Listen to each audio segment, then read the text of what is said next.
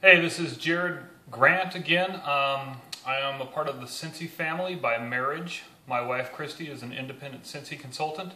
Anyways, we just got back from Spring Sprint 2014 in Mesa, Arizona. We went to that yesterday. And I wanted to make another little video for some of the Scentsy consultants out there whose business may not be where it wants, where they want it to be. And I'm going to give you a little tough love right now. Uh, I've observed a lot of consultants in the less than two years that Christy's been in it. We've been pretty active. And I've noticed a theme of kind of shy um, consultants who almost seem ashamed. They, they talk about their Scentsy business like um, kind of mousy. You know, they say, oh, I have this real job, and then I do Scentsy.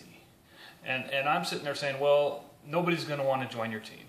Uh, sorry for being blunt, but uh, you're not even going to get a lot of excitement from customers. You need to work it like a boss.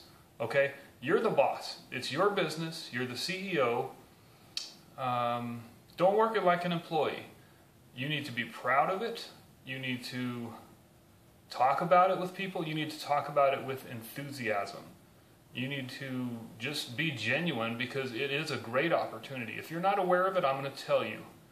You have at your fingertips an awesome opportunity to make extra income or to build substantial income.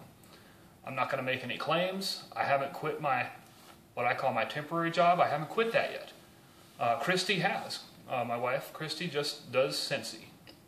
Um, but I don't, I don't want to say that. She doesn't just do Scentsy. She does Scentsy. Uh, we're both proud of it. I help her as much as I can. Um, and eventually I plan on doing Scentsy myself. And that will be my job. I'm going to retire, quit my other job, and I'm not going to retire from Scentsy. Uh, so just really, that's that simple. Work your business like a boss. Don't be the employee who, you know, is kind of scared to talk about it or timid. Be the boss. You are the boss. You are responsible for the success of your business. I'm going to make another quick video. I like to keep them short here so you don't get bored. But I'm going to make another one right uh, to go along with this, talking about expanding your comfort zone.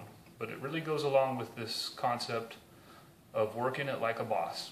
Okay, so if you're not a Scentsy consultant and you want to be, uh, get on the what I think is the best team. Uh, join my wife and I. Go to her website, www.buyandsell.scentsy.us.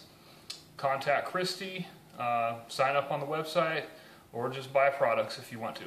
If you're already a Scentsy consultant, I wish you the best. Thanks.